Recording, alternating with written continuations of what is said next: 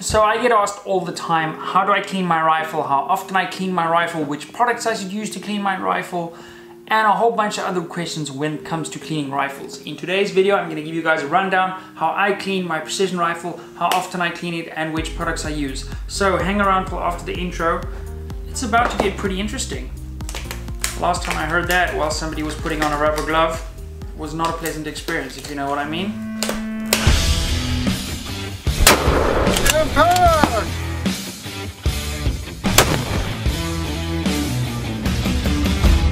Now I know what you're thinking, you're wearing two rubber gloves, not kind of the video we're hoping to tune into today. Here's why I'm wearing rubber gloves.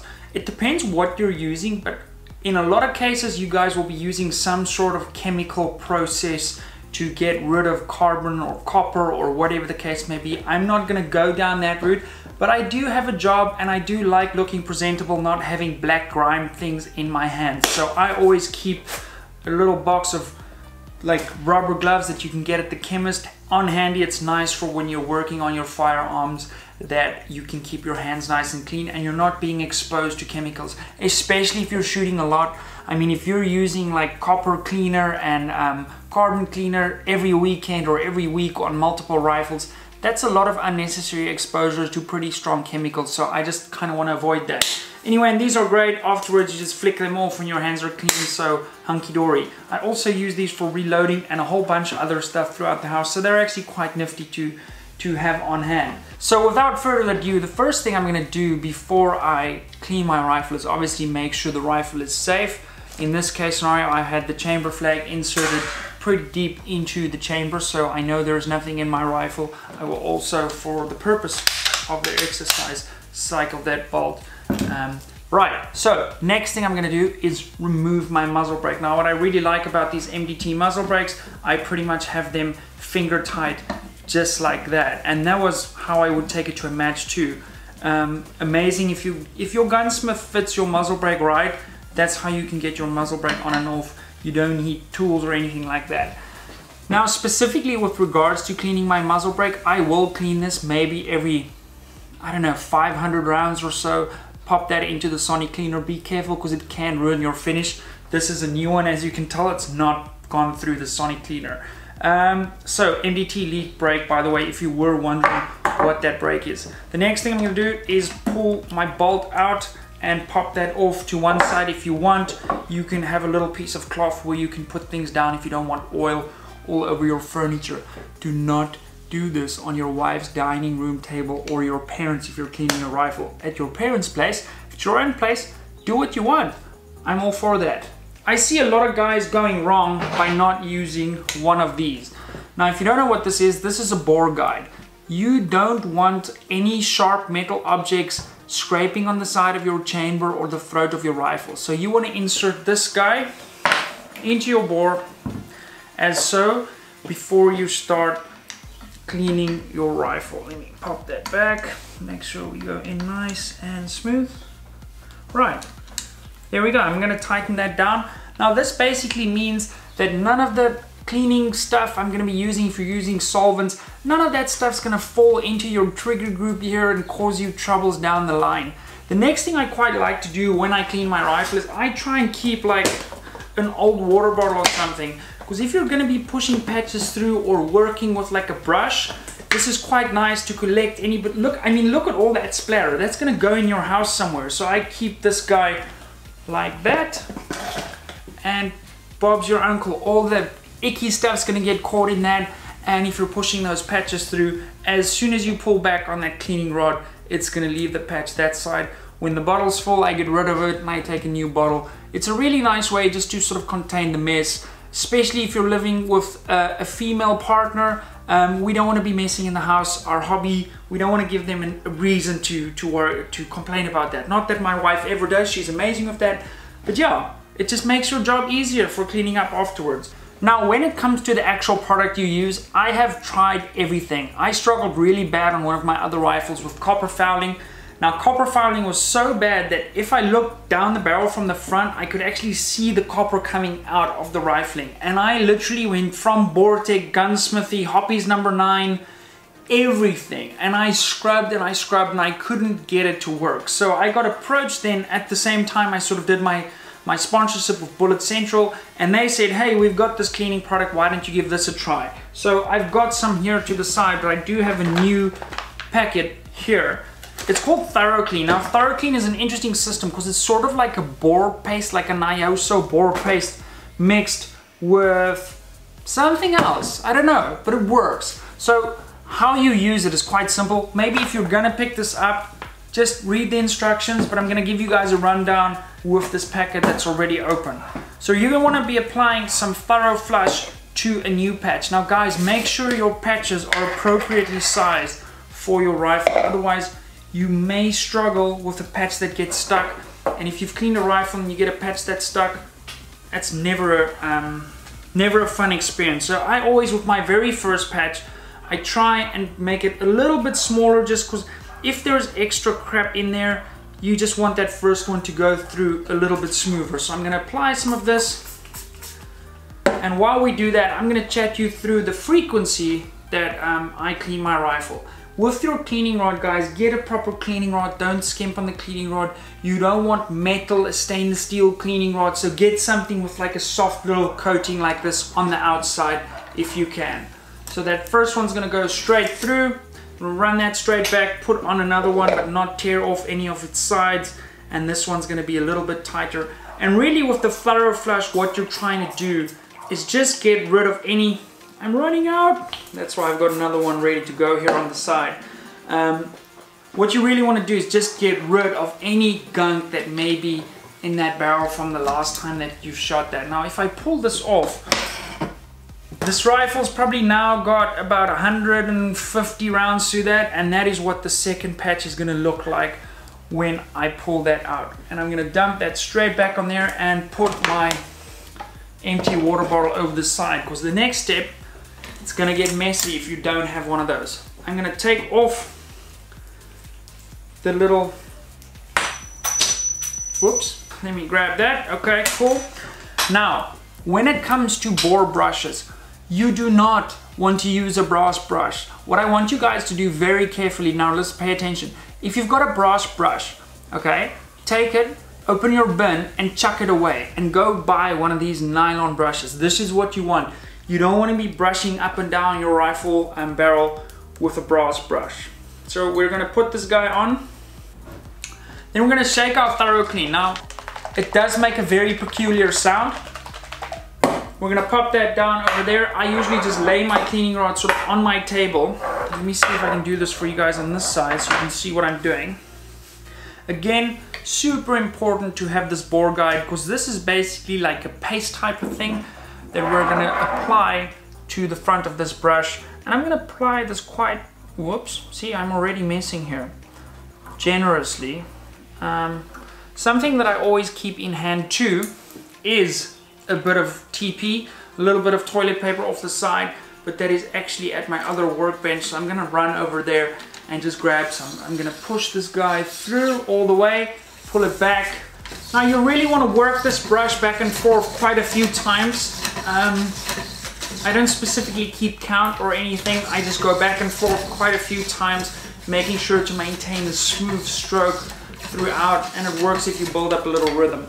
Now all of a sudden you will notice that that blue nylon brush is completely black. I'm gonna grab some paper on the side here and just wipe this brush down or the rod down all the way so to avoid that gunk going on my clothes. I'm gonna turn it off and put it down. There we go. And I'm gonna leave it in the paper.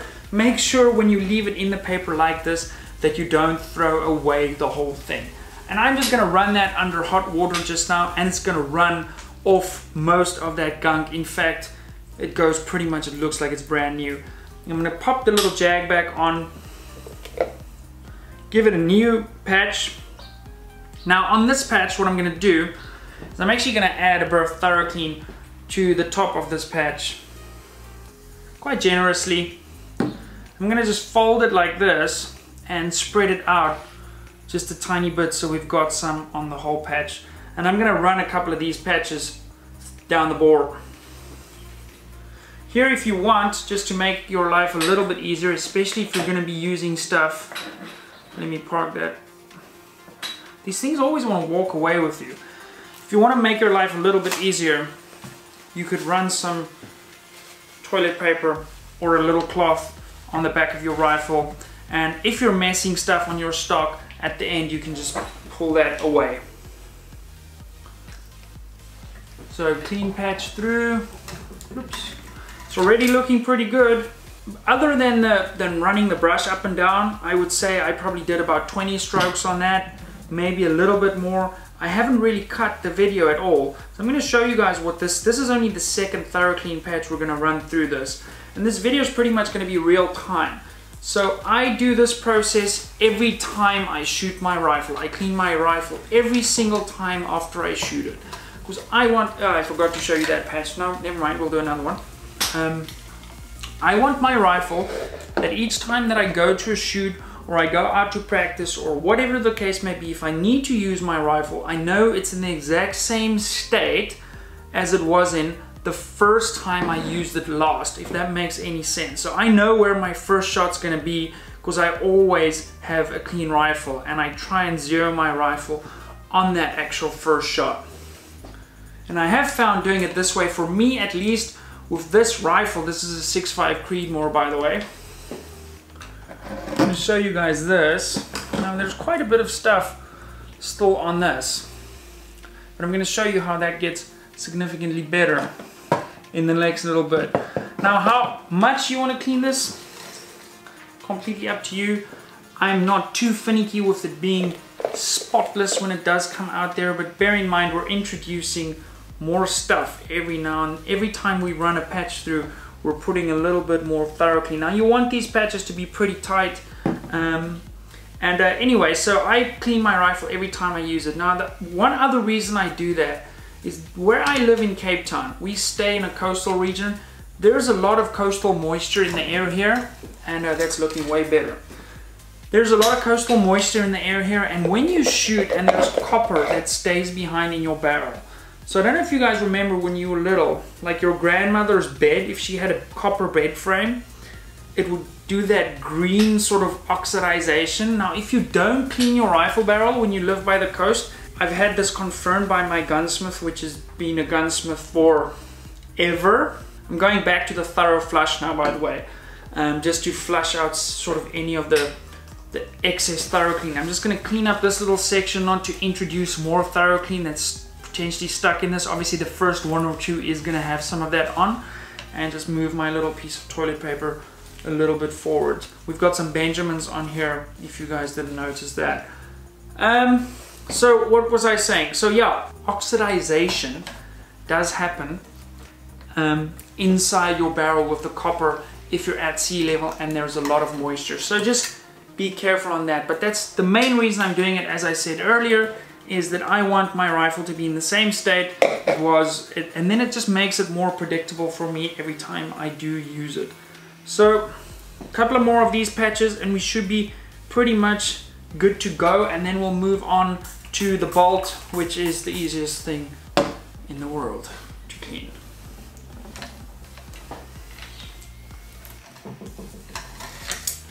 Looking very good.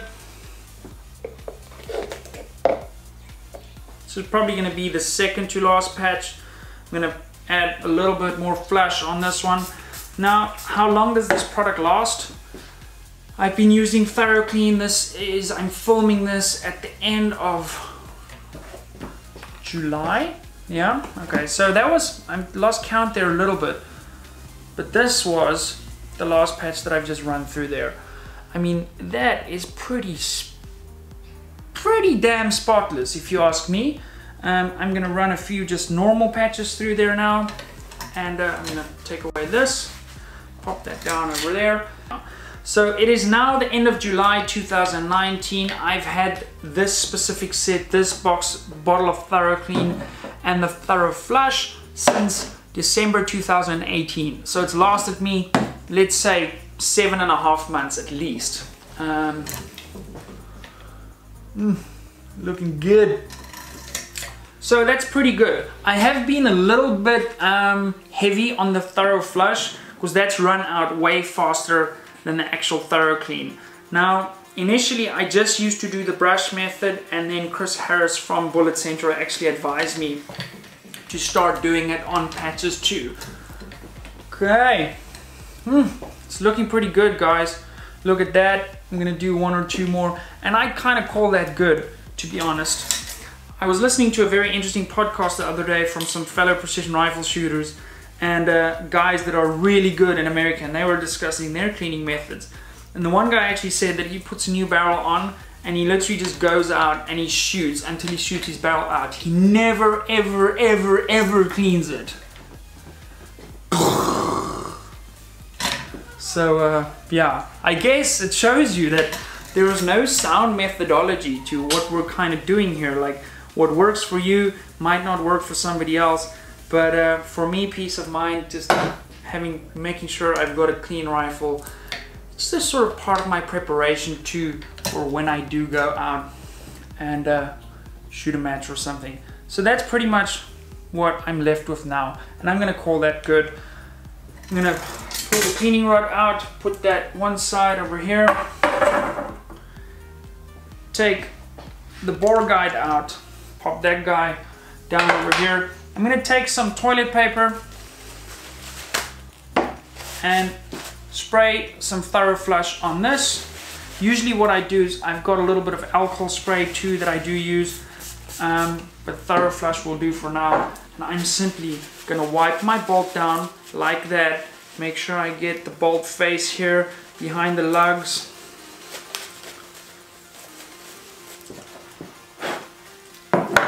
Then I'm gonna clean my raceways, literally just with some toilet paper, like so.